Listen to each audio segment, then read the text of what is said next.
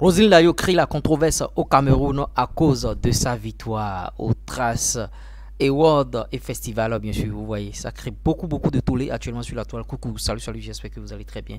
D'entrée de jeu, likez cette vidéo au maximum, abonnez-vous à la chaîne si vous n'êtes pas encore abonné. Beaucoup d'informations, chap, chap, chap, chap, chap, des infos flash par-ci, par-là, on est les maîtres actuellement. Avant de rentrer dans le vif du sujet concernant Roselyne Layo, parce qu'il y a un gros dossier. En tout cas, ce qui va se passer dans cette vidéo, vous allez voir. Avant de rentrer dans le vif du sujet, je partage une grosse opportunité avec vous. Pour ceux qui ont envie de faire des contenus sur YouTube, euh, pouvoir aboutir jusqu'à la monétisation et tout et tout.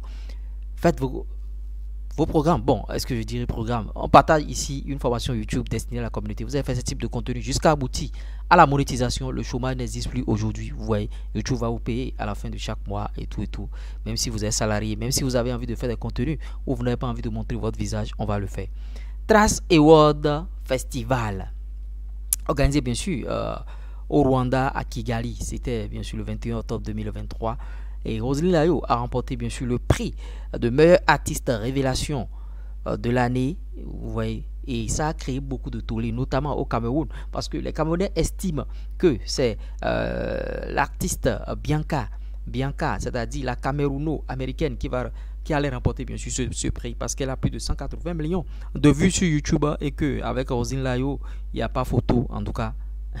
Et elle a pris le prix. Il y a même des blogueurs camerounais qui sont allés jusqu'à dire que eh, cas est trop, que Bianca mérite euh, ce prix, puisque Rosine Layo, que c'est parce que les sièges de traces sont en Côte d'Ivoire qu'on a remis bien sûr ce prix à Roselyne. Notons qu'il y a quatre euh, euh, Ivoiriens qui ont été primés. Il y a KS Bloom, il y a Didi B, il y a Tamsur le beatmaker et il y a Roselyne Layo.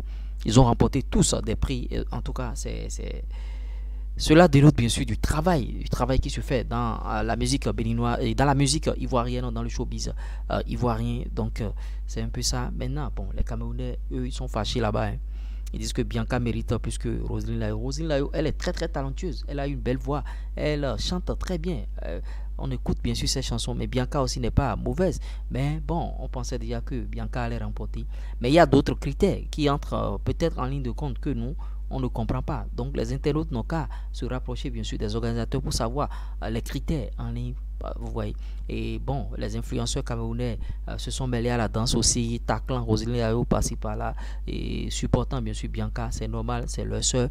Et Roselyne Layo, en tout cas, du courage, du courage, et félicitations encore pour ce prix qu'elle continue de travailler. Vous voyez, quand les gens remportent des prix aujourd'hui, vous pensez que c'est aujourd'hui ils ont commencé par travailler, c'est aujourd'hui ils ont commencé la musique, c'est euh, le travail de plusieurs années, l'effort de plusieurs années de travail, c'est ça qui paye aujourd'hui pour Roselyne Layo. Donc, euh, on n'a pas, bien sûr, à faire de la polémique autour de ça. Chers Camerounais, calmez-vous, calmez-vous, calmez-vous. Ils finiront pas à comprendre, même si ça va prendre du temps. L'euro.